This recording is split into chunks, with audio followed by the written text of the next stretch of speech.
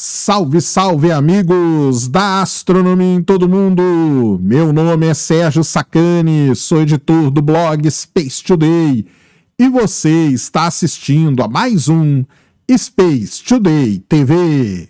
No programa de hoje, vamos falar hoje, não vamos falar do James Webb não, tá? Se você entrou aqui pensando que eu ia falar de novo do James Webb, não vou. Hoje eu vou falar do rover Perseverance da NASA.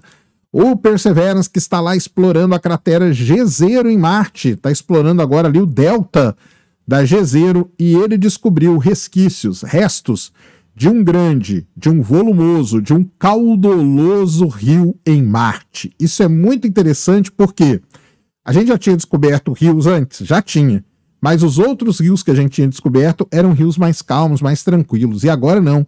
É um rio onde passava ali água de alta energia. E por que, que isso é importante? Porque isso pode carregar sedimentos grandes e junto, misturado nesse sedimento todo, pode vir a vida. Vamos entender essa história toda. Manda vinheta.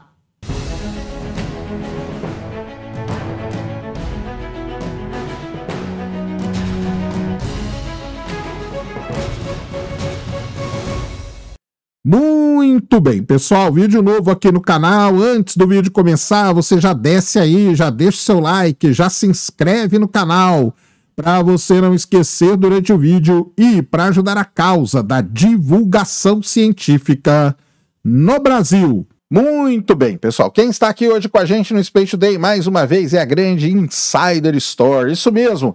E para você usar, já vai descendo aí, já vai entrando no site da Insider para você usar o cupom SPACE e ter 12% de desconto. E é o seguinte, né? Você sabe que você pode montar kits, né? Então existe o kit da Tech T-shirt. Isso mesmo. A Tech T-shirt é a camiseta preta da Insider, que muita gente não gosta de usar preto porque fica muito quente, né? Mas é a preta confortável, é a preta que não esquenta, isso mesmo.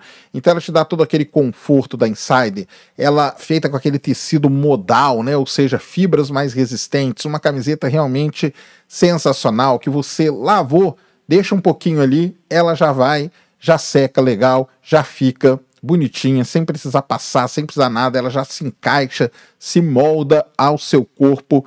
Tech T-shirt sempre com a gente, Insider sempre com a gente.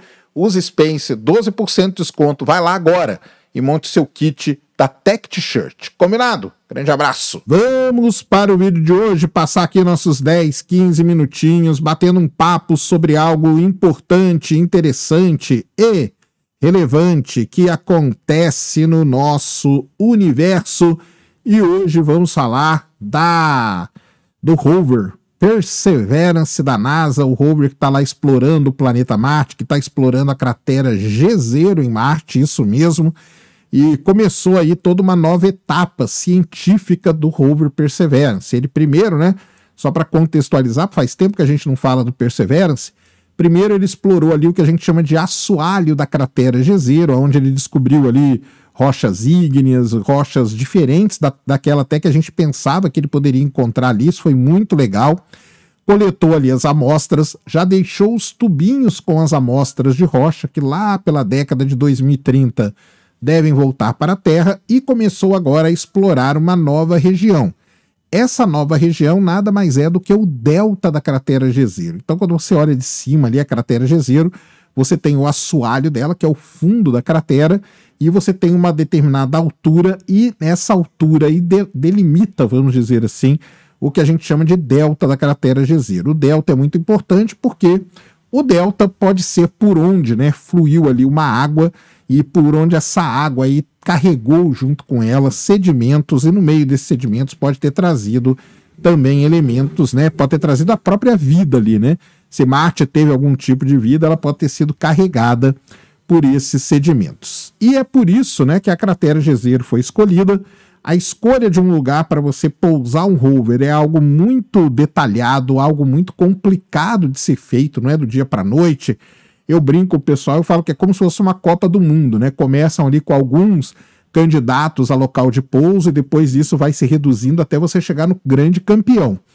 E como que se faz isso? Através de imagens feitas da órbita. Na órbita de Marte, a gente tem uma sonda muito importante, que é a MRO, Mars Reconnaissance Orbiter, E ela fez, imagiou aquela região ali e falou: cara, essa região aqui é a região ideal para a gente pousar um rover.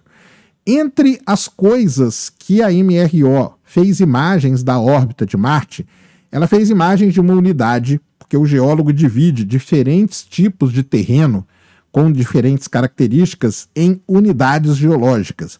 E uma dessas unidades recebeu o nome de unidade curvilínea. Por que, que ela recebeu esse nome? Porque da órbita ela apresentava ali feições né, que faziam né, determinadas curvas. Então, ela recebeu esse nome. O interessante é que agora, lá no solo, o rover Perseverance está justamente explorando essa região. Quando as imagens foram feitas da órbita, os pesquisadores que analisaram as imagens já tinham meio que chegado a uma conclusão de que aquilo ali poderia, né, tinha todas as características de que era um antigo leito de rio. E isso é muito mais legal ainda para o Perseverance, que tem o objetivo de encontrar vida em Marte, explorar um leito de rio, o que foi no passado um rio atravessando ali Marte. Então, o Perseverance agora está lá, ele está explorando essa unidade. Essa unidade ela foi apelidada ali pelo pessoal que trabalha com o Perseverance de Shrinkle Heaven. E recentemente a Mastican Z, uma das câmeras poderosíssimas do rover Perseverance, fez uma série de imagens e com essas imagens os cientistas puderam montar ali o que, o que a gente chama de um mosaico, um mosaico gigantesco. E aí, com esse mosaico e analisando os tipos de rocha que tem ali, as características e tudo mais, os pesquisadores chegaram à conclusão de que as camadas curvas foram formadas por uma água que fluía ali de forma muito violenta, de forma poderosa. Isso mesmo. Ou seja, era um rio que você tinha ali uma grande quantidade de água. Um rio, como a gente chama na geologia, de alta energia. Isso mesmo. Isso é muito legal. Só que não foi só isso também que chamou a atenção. É, então eles viram né, essas curvas, né, essas camadas curvas, elas aparecem dispostas em fileiras que se espalham ali por toda a paisagem. Eu vou deixar a imagem passando aí, é um mosaico maravilhoso mesmo, feito dessa região de Marte. E além disso, né, o que eles podem ver, eles podem ver os restos das margens de um rio que vão mudando ao longo do tempo. Isso é que é muito legal. Ou os restos, né, dos bancos de areia que se formam no rio. Então, você olha essa imagem aí passando, e se você olha algum rio aqui na Terra, você vai ver que isso é muito parecido. Então, aqui na Terra, quando você tem um rio de alta energia, ele deixa feições parecidas com essa que o Perseverance encontrou lá em Marte. As camadas provavelmente eram muito mais altas no passado e os cientistas suspeitam que depois que essas pilhas de sedimentos se transformaram em rocha, elas foram sopradas pelo vento durante eras, né, já que Marte é um planeta morto, como a gente chama, o vento ali foi erodindo e esculpiu da maneira como a gente vê hoje, né? um dos pesquisadores disse o seguinte, que o vento funcionou como se fosse um bisturi e cortou né, todos aqueles depósitos ali, o que é legal pra caramba. Lembrando de novo que esse depósito parecido com esse a gente vê aqui na Terra. Mas não foi só isso, tá? O Perseverance fez um outro mosaico, usando também a Masticam, muito legal pra caramba, aonde mostra um pedaço, né, como se fosse uma ilha, ali no meio daquele rio, né? Mostra um local separado ali que faz parte dessa unidade. Ele está a 450 metros da, da Sprinkle Heaven, né? Como eu falei, e ele é chamado de Pine Stand. É uma colina isolada onde é possível ver camadas sedimentares que se curvam, né, para cima, né, vamos dizer assim, em direção ao céu. Você vê ali as curvinhas direitinho. E isso é muito legal porque depois, por, por estratigrafia, os pesquisadores vão poder analisar isso direitinho e algumas têm até 20 metros de altura. Olha só. Os cientistas acham que essas camadas altas também podem ter sido formadas por um rio caudaloso, poderoso, ou seja, por um rio de alta energia. Ah, embora, né, lógico, não é sempre uma coisa só, uma hipótese só que é traçada, tem várias outras e eles estão trabalhando nisso. Os pesquisadores atualmente continuam estudando as imagens feitas pela Mastican Z para tentar encontrar alguma coisa. Agora que o rover está lá, eles vão poder analisar muito melhor todo esse, esse conjunto de dados, né? Eles também vão fazer, eles vão passar ali o RIMFAX, que é um GPR que o Perseverance carrega. Então, com isso, eles vão poder ter uma ideia muito melhor do que as coisas estão fazendo e vão usar todo o conjunto de instrumentos. Então, é mais ou menos aquilo que eu falo, né? Geologia, você. A foto, tudo bem, a foto é legal, você tira a foto, mas depois você tem que analisar aquela rocha. E só analisando agora com o RIMFAX, com os instrumentos do, do Perseverance, é que nós vamos ter a certeza do que, que é, se era um rio cauduloso que estava ali, se era um rio muito com, com muita energia. E isso é uma mudança muito grande, porque todos os rios que foram encontrados antes em Marte eram rios de água calma, eram rios mais calmos, não eram rios de alta energia, e isso pode ter uma implicação muito grande para a vida, isso mesmo. Por quê? porque esse tipo de rio aí, ele pode carregar detritos, né, que a gente fala, muito maiores, tá?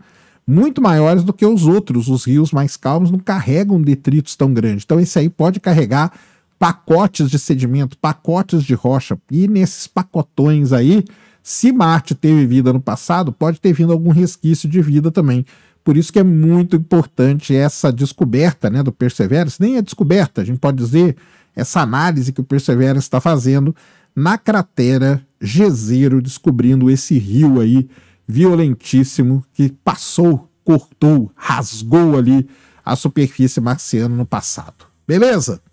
Pessoal, esse então era o vídeo que eu queria trazer aqui no canal para vocês agora. Espero que vocês tenham gostado. Se gostou, já sabe, é aquele tapa no dedão, aquela voadora com tudo no peito do like, isso ajuda pra caramba o vídeo o canal a ganhar relevância. Nunca se esqueça do pacotão youtubístico. Compartilha, favorita, se inscreve no canal se você ainda não é inscrito, deixa aí nos comentários o que você quiser saber. Tamo junto dioturnamente na luta contra a má divulgação científica no Brasil e contra a anemia na divulgação da astronomia no nosso país. Mais uma vez, meu nome é Sérgio Sacani, sou editor do blog Space Today e você acabou de assistir a mais um Space Today TV. Fui!